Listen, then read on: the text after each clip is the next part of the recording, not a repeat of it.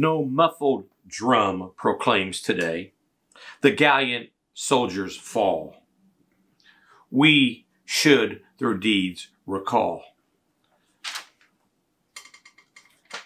I must tell you, I recall all of those deeds. I remember the haunting time of 1863. I, Martin Rice, was a resident of Lone Jack.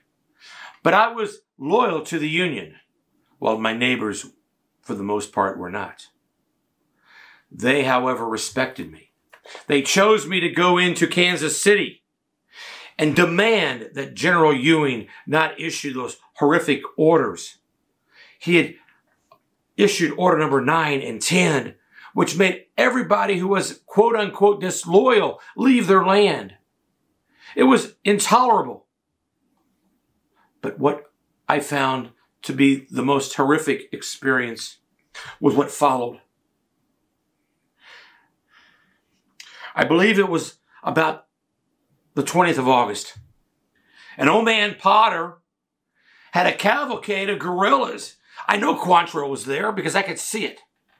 See, he and all these men, but what we didn't know is that they were en route to Lawrence, Kansas to completely annihilate that entire town. Some would say it was a good decision to destroy it. Others would not. At the end of the day, Quantrill brought hell to Lawrence and brought terror and hair, horrific hell to our area.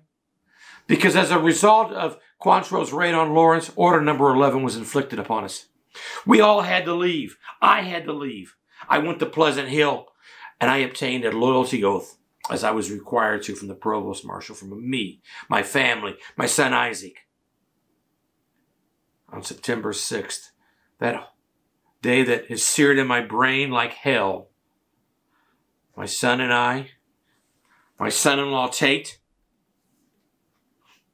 the two Hunter boys, old man Potter, the Owsley kid who was only 17 years old. We were all arrested on the Roop Farm.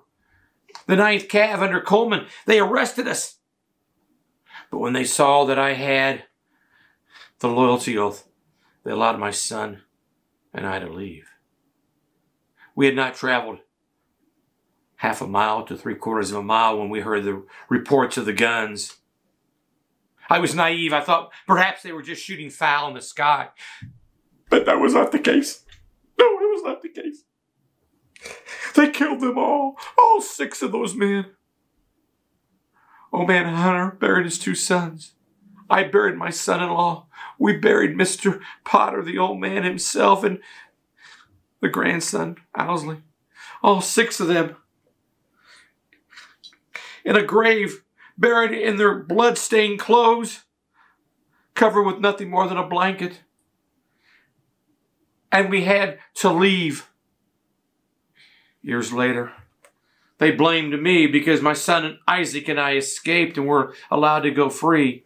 We were loyal to our family. I would have done nothing to harm my son-in-law, old man Potter, or any of the rest. May they rest in peace.